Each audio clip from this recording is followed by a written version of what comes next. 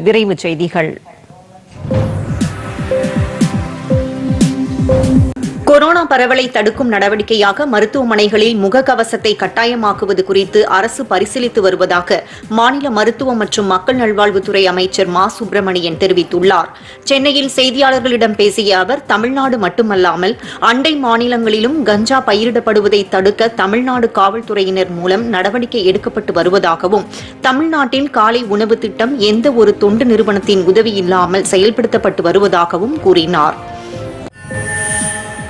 பொன்னியின் செல்வன் திரைப்படத்தில் இயக்குனர் மணிரத்னம் வரலாற்றை திரித்து கூறியிருப்பதால் நடவடிக்கை எடுக்க வேண்டும் என தனிநபர் ஒருவர் தொடர்ந்த வழக்கை சென்னை உயர்நீதிமன்றம் தள்ளுபடி செய்து உத்தரவிட்டுள்ளது. இந்த வழக்கு விசாரணைக்கு வந்தபோது மனுதாரரிடம் பொன்னியின் செல்வன் நாவலை படித்திருக்கிறீர்களா என நீதிபதிகள் கேட்டதற்கு இல்லை என கூறியதை அடுத்து அந்த வழக்கு தள்ளுபடி செய்யப்பட்டது. நாவலை படிக்காத ஒருவர் எவ்வாறு வரலாற்றை திரித்துள்ளதாக கூற முடியும் என்றும் பொன்னியின் செல்வன் படம் நாவலை தழுவி எடுக்கப்பட்டதே தவிர வரலாற்றை அடிப்படையாக கொண்டு எடுக்கப்படவில்லை என்றும் நீதிபதிகள் அதில் குறிப்பிட்டனர். திருப்பூர் மாவட்டம் தாராபுரம் வட்ட சட்டப்பணிகள் குழு சார்பில் தாராபுரம் ஆதிதிராவிடர் மற்றும் பழங்குடியினர் நல தங்கும் விடுதியைச் சேர்ந்த பத்து பதினொன்று பனிரெண்டாம் வகுப்பு மாணவிகள் இருபத்தி ஏழு பேர் தாராபுரத்தில் உள்ள நீதிமன்றங்களை பார்வையிட அனுமதி அளிக்கப்பட்டது.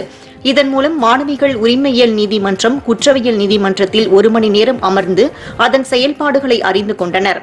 படிக்கும் ஆர்வத்தை தூண்டும் வகையில் மேற்கொள்ளப்பட்ட இந்த நடவடிக்கைக்கு சட்டப்பணிகள் குழுவின் தலைவரும் சார்பு நீதிபதியான தர்ம பிரபுவிடம் மாணவிகள் நன்றி தெரிவித்தனர்.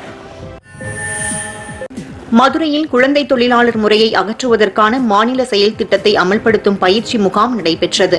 இந்த பயிற்சி முகாம் குறித்து செய்தியாளர்களிடம் பேசிய மதுரை மண்டல தொழிலாளர் நல இணை ஆணையாளர் சுப்பிரமணியன் வரும் இரண்டாயிரத்தி இருபத்தைந்தாம் ஆண்டுக்குள் ஒரு குழந்தை கூட தொழிலாளர்களாக இருக்கக்கூடாது என மாநில அரசின் செயல் திட்டமும் மாநில செயலாக்க நடைமுறைகளும் அமல்படுத்த அரசாணை வெளியிட்டுள்ளதாக கூறினார்.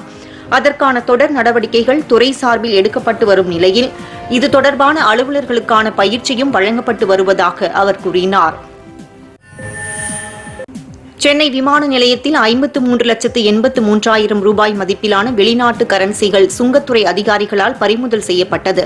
சிங்கப்பூர் ஏர்லைன்ஸ் மூலம் சென்னை வந்த இரண்டு ஆண் பயணிகளின் உடைமைகளை பரிசோதனை செய்தபோது ஐம்பத்து மூன்று லட்சத்து எண்பத்து மூன்றாயிரம் ரூபாய் மதிப்பிலான வெளிநாட்டு கரன்சிகள் பதுக்கி வைக்கப்பட்டிருந்தது கண்டுபிடிக்கப்பட்டு பறிமுதல் செய்யப்பட்டுள்ளது.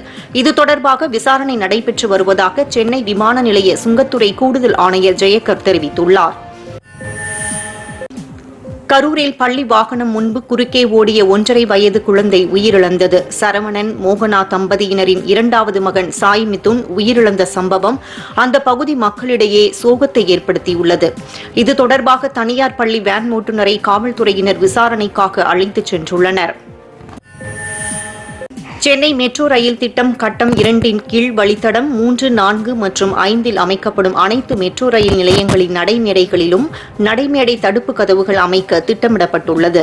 பயணிகளின் பாதுகாப்பு அதிகரிப்பதற்காக சென்னை மெட்ரோ ரயில் நிறுவனம் இதனை மேற்கொள்வதாக இயக்குநர் ராஜேஷ் சதுர்வேதி தெரிவித்துள்ளார். மேலும் கலங்கரை விளக்கம் முதல் கோடம்பாக்கம் வரையிலான ஒன்பது சுங்கப்பாதை மெட்ரோ ரயில் நிலையங்களில் முழு உயரத்திலான நடைமேடை தடுப்பு கதவுகள் அமைக்கும் பணிகளும் இதில் அடங்கும் என அறிவிக்கப்பட்டுள்ளது.